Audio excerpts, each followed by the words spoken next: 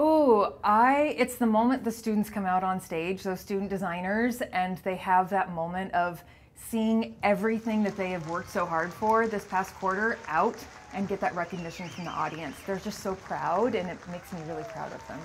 So many different students across campus being able to apply what they've learned in class. Uh, and I think that's a really great thing. And it's an exciting event, it's a fun event, there's a lot of energy, and it's just a really great culminating experience for the students to have.